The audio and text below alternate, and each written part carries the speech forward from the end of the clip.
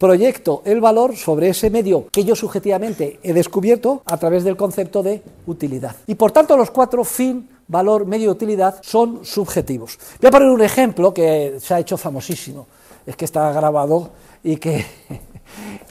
y, que pero bueno, hoy ha tocado, hoy es un día 24 de septiembre y les ha tocado a ustedes. Miren ustedes, esto en términos tecnológicos o en términos físicos es simplemente un trozo de papel. Este es simplemente un trozo de celulosa.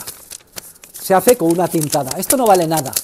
Esto, vamos, sobre todo si lo comparan ustedes con lo que de verdad es el dinero de verdad, esto, mire, comparen. Moneda de oro, mi onza Troy de oro, 2.700 dólares la onza esta mañana. ¿Eh? ¿Esto qué es? Esto es una porquería, este papel, ¿para qué serviría este papel? Oiga, pues para limpiarme el culo, esto es una mierda, esto no es nada, esto es, esto es nada. Oiga, no se quede usted con mi oro, me cago en la leche. Esto no es nada, miren ustedes, ¡ala! Miren, miren, miren, miren, miren, miren, miren, ¡ala! Miren, miren, miren, miren, mi billete de 10 euros, ¡ala! Miren, observen, miren cómo lo rompo. Miren, miren, miren, queridos alumnos de grado, son ustedes, miren, de vuelta, billete de 10 euros, miren, y miren lo que hago con ello, se lo tiro a ustedes todos.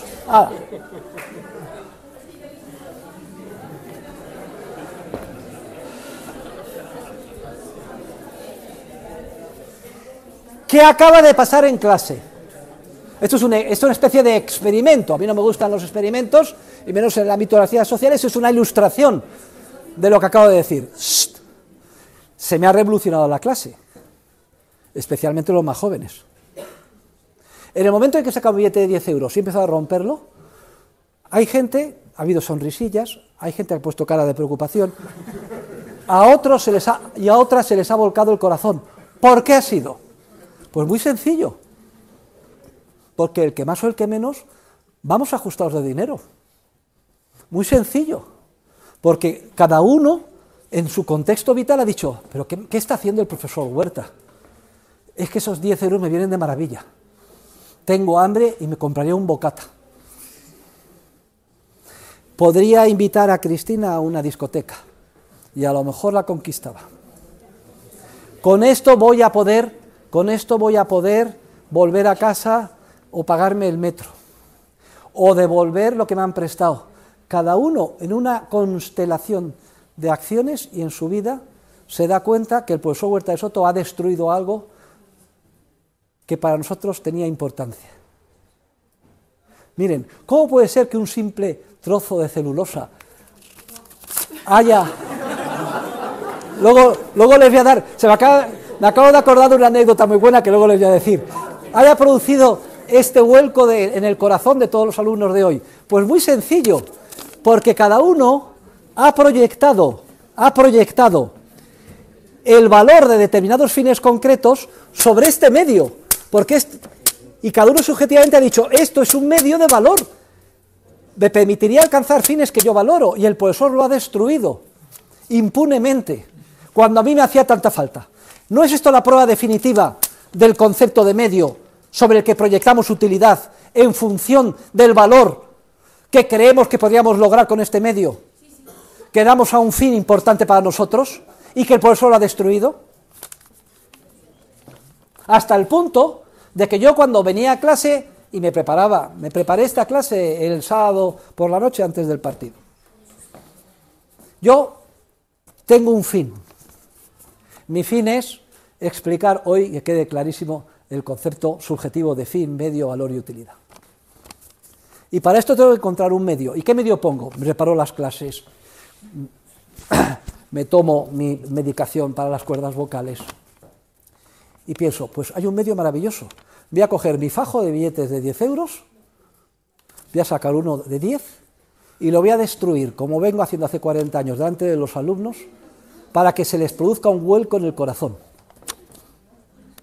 Y con esto van a entender perfectamente cómo puede ser que un trozo de papel que solo serviría como mucho para limpiarse, ¿quién sabe qué? Nos haya producido esa inquietud, porque cada uno ha proyectado que esto podía ser un medio que tiene utilidad para él, porque le permitiría lograr fines, desde de alguna forma satisfacer su hambre comiéndose un bocata, hasta cualquier otra necesidad urgente. Y ustedes dirán, pues qué prosaico, y no era necesario que el profesor hiciera esto y lo destruyera. Esa es su opinión, pero no la mía. Porque todos los que han seguido este curso ya han visto esto que he hecho, no se les ha olvidado nunca el concepto de utilidad y por qué la utilidad del medio siempre es subjetiva. Y les voy a poner, y les voy a poner, me acabo de acordar de una anécdota, me acabo de acordar de una anécdota, una anécdota muy graciosa. Me invitaron a dar una serie de conferencias en Polonia. Me explotaron, ¿eh? Por la, mañana tenía que dar una universidad, luego otra, luego la bolsa de valores. Me acuerdo que al segundo día me vio el embajador de España en Varsovia tan demacrado que me dijo, oiga, ¿a usted le pasa algo? Dije, yo me voy a desmayar porque estos no me dejan. Y luego terminábamos a las 12 de la noche en el Club Liberal en el centro de Varsovia. Y yo no puedo más. Me metió en su Mercedes, me llevó al hotel, me pidió una sopa de tomate y con esto me salvó la vida porque es que si no me hubiera muerto.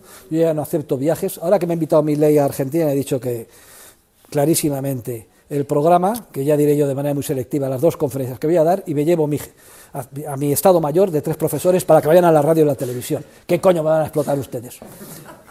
Bueno, esto es simplemente un, un pequeño exabrupto.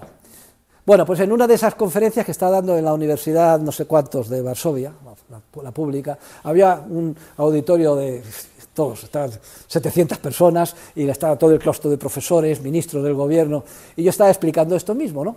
Y entonces, cuando eh, hago el show del billete de 10 euros, ya estaba el euro, ¿eh? Uno de los, tenía que hacerse el, el Paul Victoria, ¿no? Ahí delante, era de los más importantes del claustro, que además era, o había sido miembro del gobierno, y dice, eso está muy bien, profesor Huerta, sí, sí, muy bien, sí, está muy bien la clase, pero a que no hace, no lo usted con un billete de 500 euros, y yo que está delante dice, ah, que no, pues miren ustedes, saqué mi cartera, en ese mismo momento, saqué mi Bin Laden, que lo llevo delante, 500 euros, y dije, en este momento lo hago, y no saben ustedes la que se organizó, no saben ustedes lo que se organizó, para empezar, fue hace 10 años, antes de la pandemia, 500 euros, el Bin Laden, 500, en Polonia es como 5.000 aquí, en términos de poder adquisitivo. Era farol, ¿eh? ¿Sabe lo que es un farol en el póker? Porque hice así, pero como acababa de romper uno, y en ese momento, es que poco menos que tuvo que venir la fuerza pública. Se levantaron los 700, se arrojaron sobre mí los del claustro, etcétera. Yo, y al final, bueno, fue un motivo de comentario y de holgorio. Lo tengo aquí. Es, este es, ¿Alguien ha visto alguna vez un Bin Laden? ¿No? Sí. ¿Usted no ha visto nunca un Bin Laden? Sí, yo sí, ¿Usted ha visto un Bin Laden? Aquí, aquí, tiene un Bin Laden de 500 euros, de verdad, no está. 500. Lo digo, esto, los pobres alumnos no, no, lo habían visto nunca. A ver, nunca, no, no lo habían visto nunca. Billete, billete de 500, billete de 500 dígaselo a sus padres, que han visto un billete de 500. Paul Victoria ha visto muchos porque siempre trabaja en fajos de 500 en el mercado negro. Venga, billete de 500. Se pasará el billete de 500 y la moneda de oro. A ver, billete de 500, para que lo vean aquí, billete de 500. Vale.